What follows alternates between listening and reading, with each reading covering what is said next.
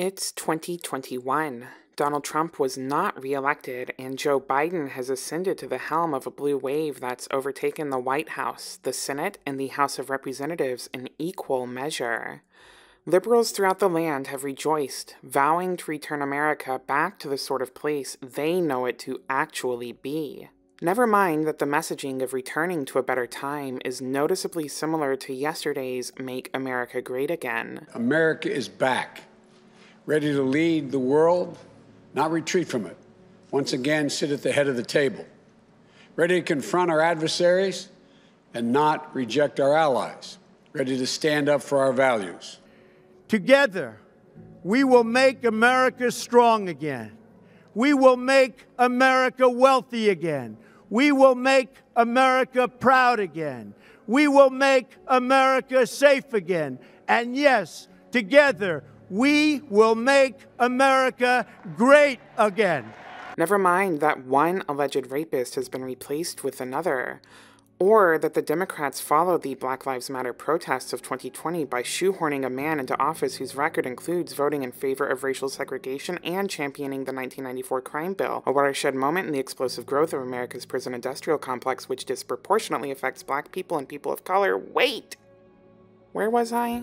Democrats, Republicans, Independents, Progressives, Moderates, Conservatives, young, old, urban, suburban, rural, gay, straight, transgender, white, Latino, Asian, Native American. I mean it, especially those moments, and especially those moments when this campaign was at its lowest ebb. The African American community stood up again for me. Ah, yes, making America complacent again. I bring up the election because I wanted to draw your attention to this map here. And for fun, let's throw this little number from 2016 up here. Hell, we can do a few more. Let's go back 20 years or so. Notice any trends?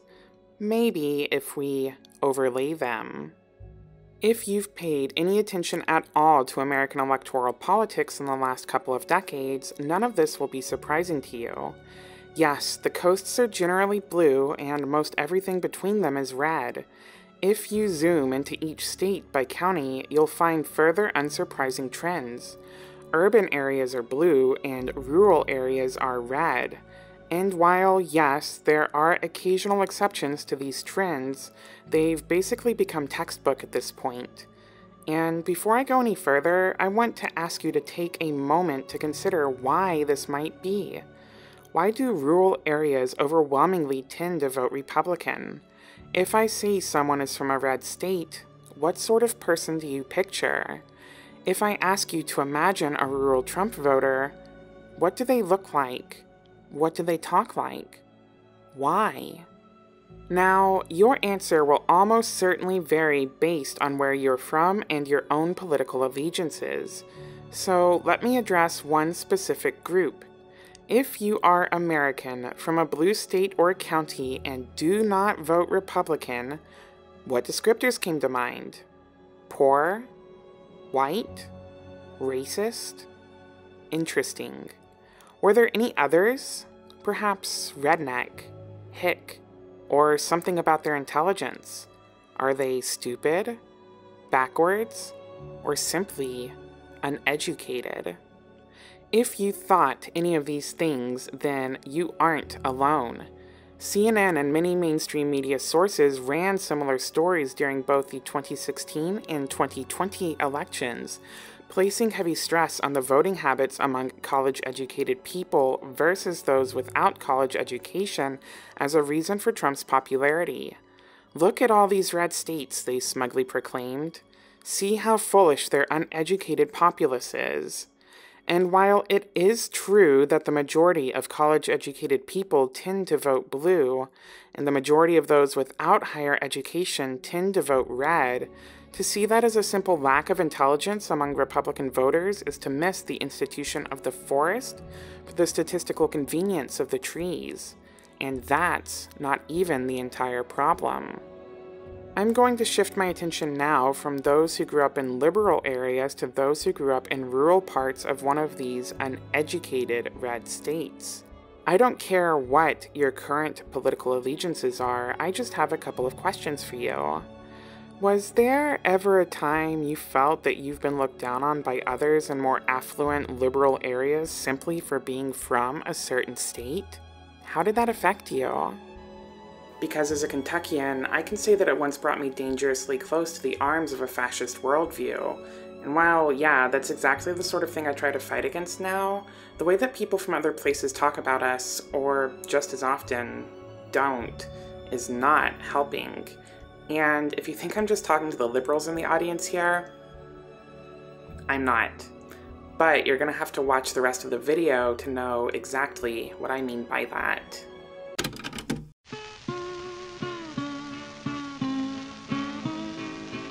There's probably no topic on God's green earth more complicated for me to talk about than my feelings on rural Kentucky or the broader American South.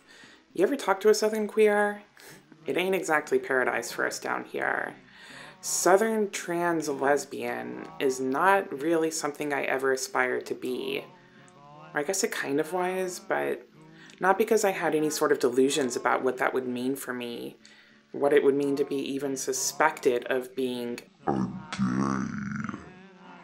Maybe it's different for those who grew up in a southern city, but for those of us who grew up two hours from the nearest one, the so called Bible Belt is anything but utopian. But that's not to say I hate everything about Kentucky or the South. I love being from the home of both bourbon and bluegrass. Blue moon Kentucky, keep on shining.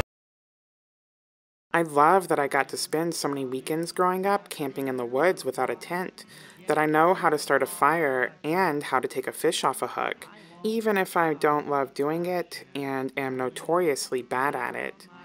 I enjoy shooting guns, and I love how anti authoritarian it all used to be. More on that later. I love the whole who gives a shit about being fancy vibe that I grew up with.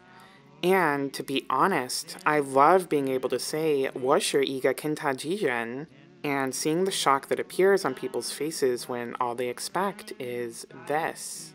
Wait, wait, wait, wait, wait, wait, wait a second. You're telling me I flew all the way to Kentucky to get some of your fried chicken and, and the colonel isn't even working today? He we he did. What?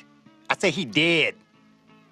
Is Mr. Sanders in? What wrong with you? I say you he did. The Colonel! Like I said, it's complicated. I love being from here, but I hate having been subjected to so much as a result of being from here. So, this is the point in the video where I disclose that the political bent that I have now is not the one I have always had. By the time I got into high school and had started developing some sort of political identity, I knew I wasn't a Republican, but I wasn't exactly a Democrat either.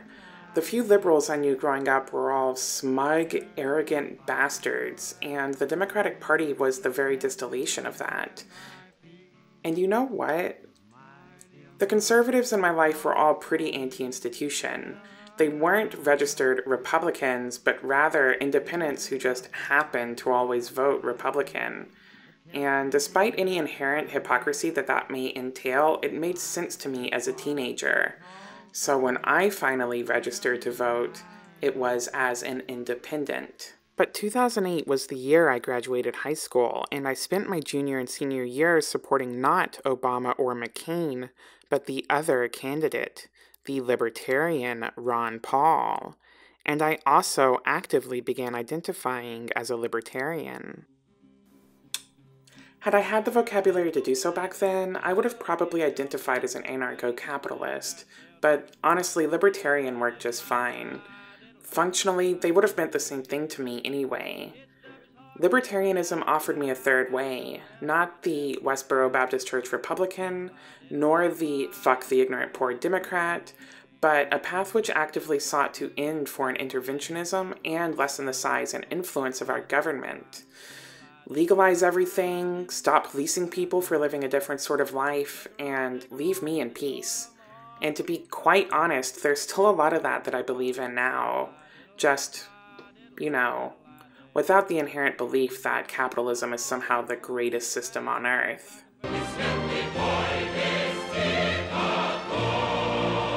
A friend of mine once described libertarianism as the ideology of the closeted southern white gay, and I mean, Yeah, it is.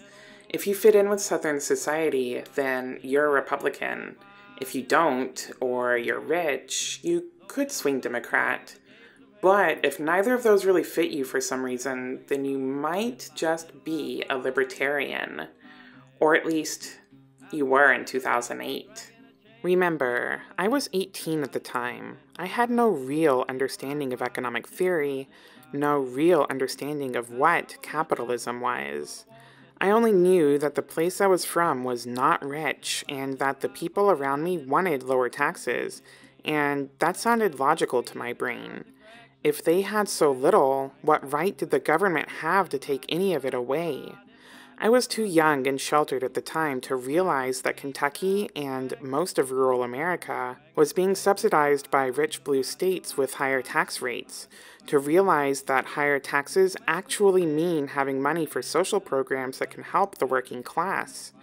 The only institutions I knew that helped people who needed it were the generally extremely conservative local churches. The only socialists I knew of were in faraway countries I knew basically nothing of. There were no leftists distributing bread in my town. I never even heard the term leftist until well into college. But again, we'll get to that. No one ever told me about Ron Paul's racist and homophobic history, his conspiratorial mindset, or his support of far right militia groups. I didn't see that, for all its promise of freedom and non interventionism, American libertarianism was a pipeline to fascism. And so, by extension, the libertarian culture I grew up in was especially susceptible to defaulting to fascism as well. But how could an ideology centered on individual liberty be so susceptible to such authoritarianism? I am so glad you asked.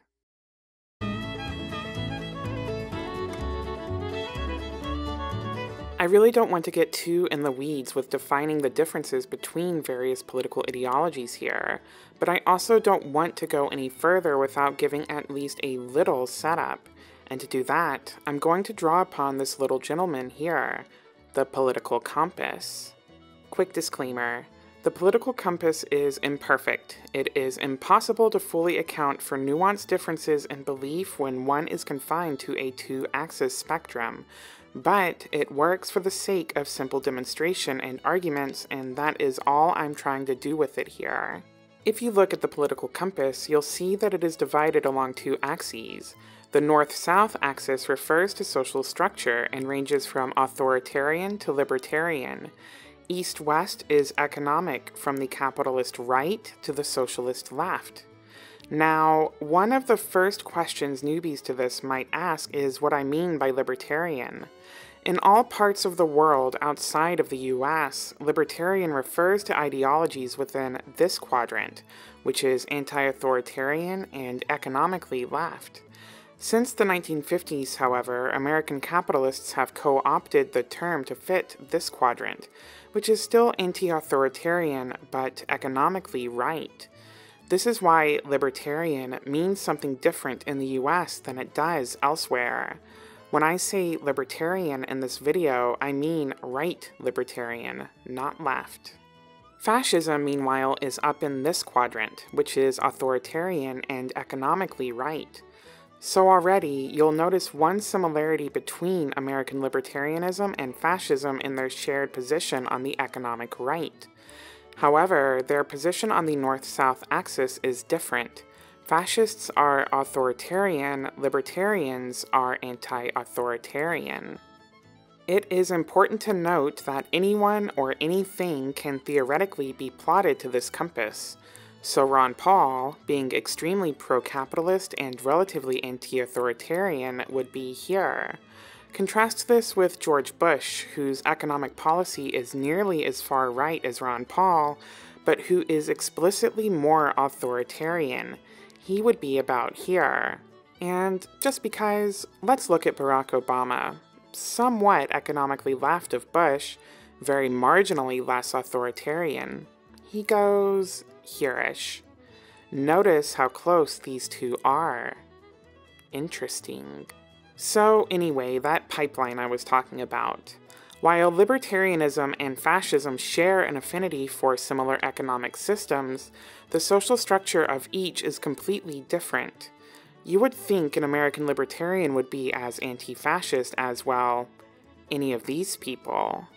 But when you see this flag or hear Tea Party, both of which are products of the American libertarian movement, do you think anti authoritarian? Because I don't. I think even more pro authority than your standard Republican. But how and why did that shift happen? Now, that, friends, is the very reason I made this video.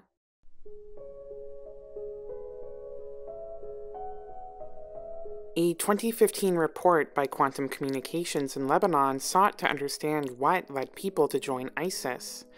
In order to better understand this, researchers collected and studied 49 video interviews of current and former ISIS members. The sample size of this study is small and imperfect, but such is the nature of studying a decentralized extremist group. From that study, the researchers determined nine primary reasons why people join ISIS. Some of these are not relevant to this essay at all, but a few, notably, are. These include the so called identity seekers, the revenge seekers, the responsibility seekers, and the justice seekers. Oh my, that's almost half of them. So, what defines these four types of people who join ISIS? Identity seekers are those who feel like outsiders, surrounded by an alien environment, and who thus seek an identity through becoming part of a group. Revenge seekers are different in that they do consider themselves to be part of a repressed group, in this case, a group being repressed by the West. The responsibility seekers are simply those who join out of a need to provide financial or material support for their families. And finally, the justice seekers are those whose only reason to join is to fight a perceived, generalized injustice. It has become standard after any major terrorist attack in the world for ISIS to claim responsibility. Sometimes this can be verified, and sometimes it cannot. It might seem strange that a group would want to take ownership of an atrocity, especially if they were not actually responsible for it, but doing so is a well known strategy for recruitment.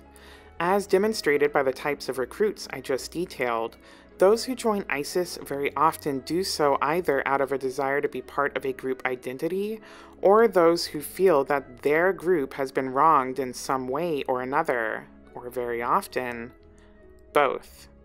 The non Muslim world is already deeply and overtly Islamophobic, which means that Muslims in non Muslim nations often feel looked down on, excluded, alienated, or even outright hated by the non Muslim people around them. Claiming responsibility for an atrocity further stokes those flames of Islamophobia, further isolating those alienated Muslim people. The perception towards Muslim refugees in the US and Europe has, in turn, led to some draconian attempts at banning such refugees into those places. And where do those alienated refugees, spit on by the very people they fled to for sanctuary, have to go then, but straight into the arms of ISIS? People are social creatures, after all. We all crave to be a part of some sort of community. They look down on you, Isis whispers into those alienated people's ears. They hate you. They bombed your house, killed your family and your friends, left your homeland a war torn hell. They eat steak and get fat in front of their televisions while you starve and freeze and die. Is that right? Are you going to let them treat you that way simply for being born where you were born? For worshipping the God of your fathers? There is no more effective strategy for recruiting people into an extremist ideology than to alienate them and make them feel hated by all those around them, and to make them feel as though they are a target simply for their identity. ISIS does it because it works and fascists have likewise always done the same. There has been no dearth of ink spilled nor tongues wagged over the last few years on any topic more than how fascism spreads. It's all over the news, it's all over social media, it's all over this hell site. Oh god, I can already hear you saying, not this again. To which I say, just wait until you've heard the next line I've written. If you look at Germany in the years leading up to the Second World War, hey, there's only so many ways to talk about this. I'll make it quick. I promise. If you look at Germany in the years leading up to the Second World War, you'll find more than a few similarities between how the Nazis gained support and how ISIS gained support.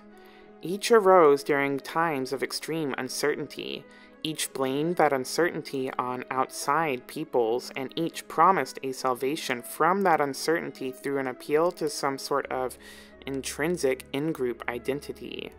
For Germany, that uncertainty sprang from losing a world war, which saw the nation, and by psychological extension, its people, go from being a major and respected power to an impoverished international pariah. Due to effective propaganda, the general German populace believed the Second Reich to be clearly winning the war. It came as a shock, therefore, when Wilhelm II signed Germany's surrender in 1918. The seemingly sudden fall from grace was the predecessor to several difficult and tumultuous years in Germany, with inflation and economic inequality rising at a terrible pace. Though this eventually leveled off and even eventually improved somewhat, the feelings of alienation among many within Germany's working class continued to loom, and the question of who betrayed the empire never fully dissolved. This was infamously the incubator for already rising anti Semitism, but also for an increasing distrust in the politically diverse democratic government. They look down on you, the NSDAP whispered into those alienated people's ears. They hate you. They stole your country, killed your sons and your brothers and your fathers, left your homeland a breadless hell. They eat steak and get fat from your labor while you starve and freeze and die. Is that right? Are you going to let them treat you that way simply for being born German? For loving the land of your fathers. The details are always the same, even when they differ.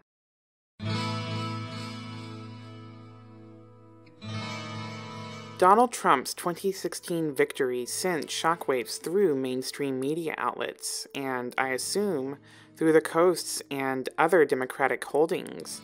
How could this be? How could the polls be so wrong? What? Happened. Oh, go to hell, Huffington Post! Fuck you, Nate Silver! Oh my god, how could they have been so wrong about this? Of course, if you lived in the rural area of a red state, this probably came as less of a shock to you. I was working in the modern languages department of the small state university I attended at the time. In a town of like 20,000 or so, the university was the only real liberal stronghold for miles and miles around. And even there, in that department of highly educated English and foreign language teachers, opinions were sharply divided over who should win the election. I do vividly remember, however, that that nudge went to Trump. There are so, so many reasons for why Trump and the broader Republican Party are so popular in the place I grew up and places like it. There has been a lot of talk of the urban rural divide in the last few years, and with that, a certain narrative about what rural America looks like and the problems it faces. Talk and endless think pieces. And overwhelmingly, this coverage of the area seems to be taken on by folks who seem to have no idea what the lived experience of growing up in such an area is like, because Holy shit, do they miss some important bits, like all of the time. According to the media, rural America is poor, aging, uneducated, and entirely white. And certainly, there are some statistical figures to back up those claims. But statistics are worthless without context, and moreover, there is significantly more to the story once you actually look at those numbers. I mentioned at the top of this video that my feelings towards the South are deeply complicated. At different times, I have bitched to anyone who will listen, and I've cursed it in private. It's somewhere where racism and bigotry are so deeply ingrained that people don't even realize how racist and bigoted they are. I have bawled while driving down rural roads at the beauty of the place and how much I love all the good parts of it, and how impossible it feels to reconcile all of that with having grown up in a place where non heterosexuality and gender nonconformance are met with bullying, discrimination, and hate. I have spent a not insignificant amount of time fantasizing about a life lived in Brooklyn or San Fran, running away to somewhere where I can just exist around people like me. But not only can I not even begin to afford to live somewhere like that right now, if everyone like me leaves here, what will become of here? And moreover, why should I have to be the one to leave? Because here is a much more diverse place than it's generally portrayed as. Yes, it is majority white, and yes, it generally votes conservative. But here is where you will also find a statistically significant percentage of America's black and Latin populations, and, in fact, the majority of indigenous people. Rural America is also home to a large number of LGBTQ folks and the majority of disabled individuals.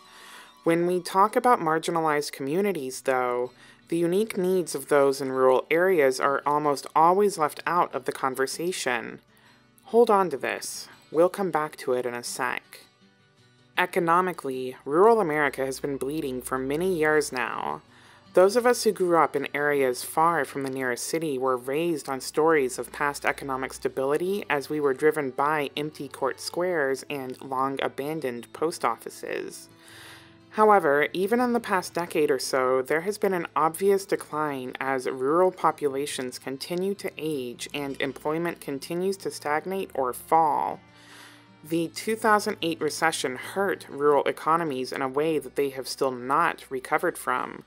Obama's presidency may have brought employment back to pre recession levels in urban spaces, but of the 8.2 million jobs added to the U.S. economy from 2011 to 2015, only 3.5% were in rural areas. I personally graduated from high school in 2008. Since then, most of us have moved to one city or another there simply is very little opportunity back home for anyone. Democrats, despite whatever stereotypes might be attributed to them, have proven time and again that they care very little for the suffering of America's working class. My whole life, I heard the adults around me lament bitterly about Democrat sponsored trade agreements that sent all of the local manufacturing jobs abroad where corporations could pay exploitatively low wages that undercut anything an American worker would work for. I was in elementary school when NAFTA was put into effect, and I vividly remember many classmates' parents losing their jobs as a direct result. I remember losing friends as their families were forced to move away. Rural communities have been hurting since, and in that time, the DNC has done little to show any care for their economic well being. Enter the Republican Party, the party of lowering taxes on the rich, the party of ending social welfare programs, the party of defunding education, the party of traditional family values. Sure, their economic policies are in no way beneficial to America's working class, but neither really are Democrats, so that's a wash. But where the GOP's great advantage lies is in the way they speak to the cultural values held by those in rural areas. And oh boy, getting into that becomes a whole other topic. But for now, let's just say this. Neither party gives a damn for the working class, but the Republicans at least pay lip service to its base, and that goes a long way. I want to quickly turn your attention back to interwar Germany again before we synthesize all the information I've just spat at you. When I mentioned the Nazis earlier, I discussed the role that the promise of a strong in group identity can play in spreading fascism. In general, when we talk about why Germany became fascist, this is the thing that is always focused on. Germans felt betrayed after the war, the Jews became a convenient scapegoat, and this was used to stoke latent hypernationalism within Germany. And yes, all that happened. But again, the situation is a bit more nuanced than that, and we really need to pay more attention to the role economics played in all of it. In his book, The Logic of Evil The Social Origins of the Nazi Party, West Virginia University's Dr. William Brustein describes the importance material interests played in NSDAP recruitment. Using the records of Nazi Party membership held in Berlin, Brustein comes to the conclusion that, actually, more people joined the Nazi Party because of a promise of greater economic surety than they did for reasons related to identity. This is extremely interesting because the narrative is that German workers were represented by the leftist parties, while the Nazi Party was a party for Germany's middle class. While I do think that Brustein's research is pretty flawed in the way it downplays the impact generational anti Semitism had on the Nazis' popularity, it does do a good job in pointing out that the National Socialist movement was largely comprised of disaffected German workers which, relating back to the types of people who join ISIS, runs parallel with the responsibility seekers. I do not think that all people become fascists for purely economic reasons. Neither do they all become fascists because they are innately prejudiced. I do very much think, however, that the promise of a better, stabler tomorrow is an extremely important factor in fostering fascist thought. It is also critical that the better tomorrow was only ever denied because some other can be blamed for taking it away in the first place. Economic disenfranchisement is the key to getting people to listen, and it is the vehicle through which underlying prejudices are allowed to be brought to light, fostered, and grown. One huge factor in Trump's roaring popularity in rural areas was the way in which he spoke directly to those affected by the perpetual economic uncertainty in those regions.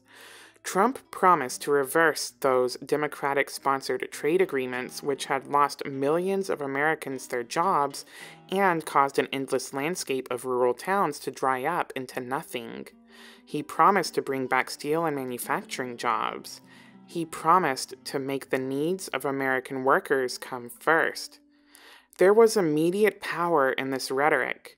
Rural Americans had been largely ignored by mainstream politicians for decades, their economic situation ever worsening in the meantime. Of course, they were going to vote for Trump. Who else were they going to vote for? Hillary? Her husband was the very one who signed NAFTA into existence. Biden? And to get hot, I got a lot of, I got hairy legs that turn that that that that that that turn uh, uh, um, blonde in the sun. And the kids used to come up and reach in the pool and rub my leg down so it was straight, and then watch the hair come back up again. They'd look at it. So I learned about roaches. I learned about kids jumping on my lap, and I've loved kids jumping on my lap. There were many, many people in my life who voted for Trump in 2016. They probably also voted for him in 2020, but I can mostly only speculate that. Even in the early days of the Trump presidency, the way they talked about him was very different from the way they talked about Bush, in that I never heard a negative word on Bush. I heard mostly only bad things about Trump, ranging from asshole to idiot. However, if you asked any of them why they voted for him, the answer was always the same the economy. Every single Trump voter I have ever spoken to voted for Trump because they believed he could fix the economy, which had been so clearly lopsided against them by democratic liberalism. Or, again, at least they did in 2016. In 2020, who knows? Has the Trumpian economy been good for rural Americans? Overwhelmingly, No. In the four years since he took office, the rural urban income gap continued to widen. Public lands, an important source of revenue for many rural communities, were sold to the highest bidder, and farmers, farmers, especially farmers of color, have perhaps been hurt most of all. They were stripped of protections they had had against big agribusiness interests, and billions were lost in farming revenue as a result of the trade wars. Did any of that matter? According to voter surveys, not at all. To the overwhelming majority of Trump voters, the economy is still one of the primary factors for their vote, regardless of whether the actual material conditions improved for rural voters over those four years, and again, they didn't. The promise of a better economy to come was still enough to motivate them to vote. It was still more than they ever got from the Democrats, after all. Also, side note, I personally know how much it sucks to be told that an individual voted for someone whose policies could be murderous towards people like you just because they like their economics. Every time a Trump voter tells me that they don't like him personally, but they like his economic policy, I want to scream. But it is important to note that not every Trump voter sees themselves as racist or bigoted, even if they directly supported a platform of racism and bigotry. Does that excuse them platforming white supremacy? Absolutely not. But it is still important to be aware of this phenomenon because this is the Trojan horse through which even worse hate is able to spread through our culture. Let's recap. Fascism thrives in an environment where people feel alienated and or mistreated by wider society, where they feel they've been betrayed by another group, and when their economic security has been threatened. Rural Americans as a group often feel as though they are looked down upon by coastal and urban folks, feel they have been betrayed by democratic economic policies, and have had collapsing economic structures for decades. We also touched on the fact that rural communities are not monolithic, but home to a host of marginalized individuals. Finally, we discussed how fascism appeals to the working class and, in doing so, encourages already latent prejudices. See where I'm going with this? When we write off an entire region, we leave it alienated and vulnerable to the far right. Liberal in this part of the world is synonymous with an elitist who hates the poor and struggling hicks who live out in the county, and by extension, so does Democratic Party. There might be things that Trump voters dislike about Donnie, but for all that, they do perceive in him a hope of salvation from that broken world they live in. And all it takes is a movement like MAGA to directly offer those disaffected people a promise of economic salvation by returning to a time in which they were financially more stable. Whether that promise is kept is irrelevant. It is a promise made, and the result is the same either way. Those manifold prejudices already held are inevitably worsened when fascism is given a space to grow. And who will receive the worst, most immediate brunt of the rise of fascism in rural America? The millions of marginalized people who also live there. And that is why it is crucial that we not only listen to the needs and frustrations of rural America, but why we also shouldn't erase the lived existence of its most vulnerable people by painting all of them with a brush that simply says, white, traditional, conservative. Doing so emboldens the worst of the population while simultaneously putting the most marginalized in an even more precarious position. I'm not here to make excuses for the racism that permeates this part of the world. I'm not at all here to center the conversation on how to achieve better equality in this country on the feelings of rural white people. I'm not even here to claim that every bit of inequality in this country can simply be reduced to economics or class. This isn't a video about identity politics or class reductionism. This is, however, a video on how social alienation and economic instability can lead to the spread of fascistic thought, and how social acceptance of fascistic thought universally worsens the underlying prejudices of the people who adopt it. It all becomes self fulfilling prophecy. One is not responsible for the other, but they each do very much feed into one another.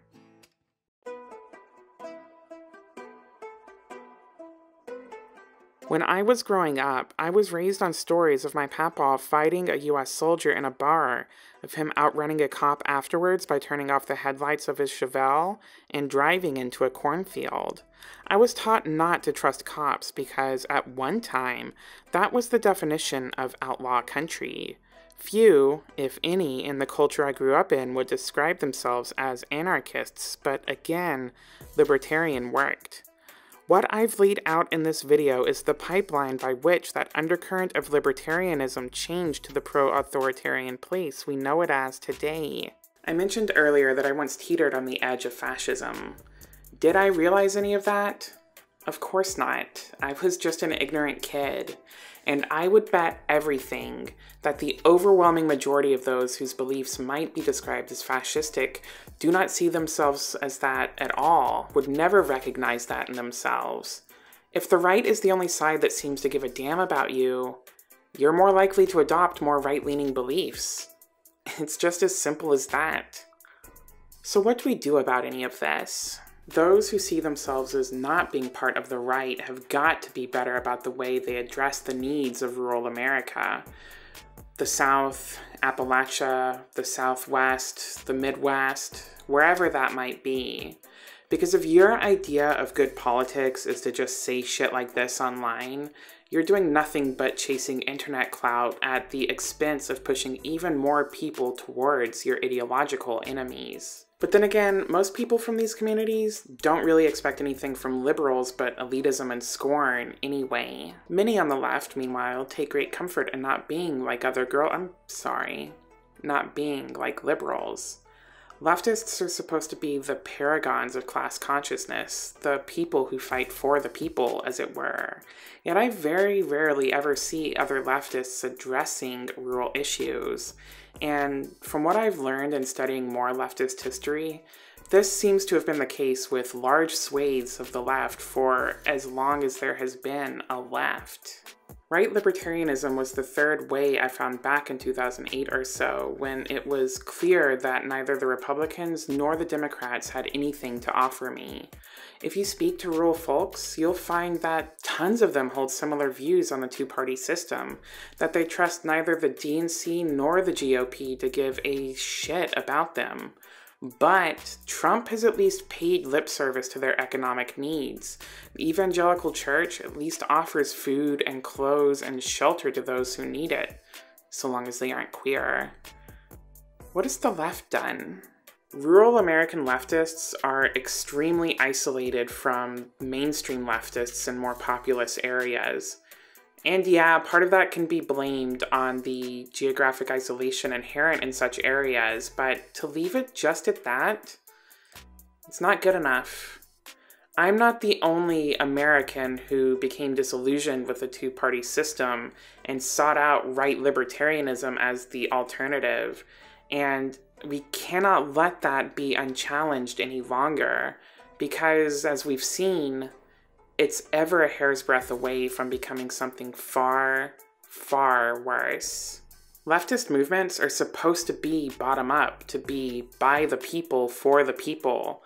Leftist economic policy is supposed to be explicitly for the betterment of people like those who live in rural America. Leftists themselves love big talk about revolution, but show me just one that worked without the support of rural communities.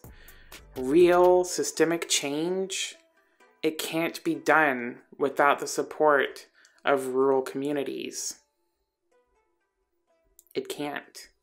But the right understands this, and that should concern all of us. Because next time, when someone shrewder than Trump comes around, it may be too late. This was the most difficult script I've written to date. It's long, yet it barely scratches the surface. I had a very clear vision for where I wanted to go with it when I started, but the more I wrote, the more I realized I had to say. I wasn't able to get into the manifold social issues that exist in this part of the world, the psychological structures that set people up to accept a right authoritarian worldview, the sorts of leftist groups that do exist in rural communities. I'd love to talk more about the way other rural leftists feel the capital L left treats them and their communities. If you watched this video and thought, ugh, it was fine, I guess, but why didn't she talk about X? I can assure you, I probably feel the exact same way. This feels like an extremely incomplete and insufficient essay, but you have to start somewhere, and if you do feel like it's lacking, great! You can always leave a comment and feed the algorithm for me, or even more ideally, I encourage you to go and learn more about this yourself. I haven't decided if part 2 or whatever I'll call it will be the next video or six videos, next month or a year from now, but this isn't the last I'll speak on this topic. And if I can be extra honest for a moment, I've never been more nervous to post a video than I am to post this one. This feels like the sort of thing that could draw as much defensive ire from the people back home as it does from the online left, right, and liberal. But that in and of itself sort of says something and seems worthy of note. Anyway, thank you to those who support my work. If you made it to here, please do actually let me know what you think in the comments, not just for the algorithm, but because I'm not sure how this will be received, and I'd love to know what I could do better, or what you'd like to hear about next time. And like, share, subscribe, check out my Patreon, follow me on Twitter, all that jazz. God, I hate writing that part in the script. Every single time. Anyway, here's the stinger I selected for this video. You know, I do this for all my videos, right? Something to consider. Is raising a starvation minimum wage of $7.25 an hour, which has not been raised in 10 years, to $15 an hour, a living wage, a radical idea? No. Is making public colleges and universities tuition free so that all of our people have the opportunity to get a higher education in a competitive global economy. Is that a radical idea? No. Is doing what every other major country on earth does, guaranteeing health care to all as a right, is passing a Medicare for all single payer system a radical idea? No.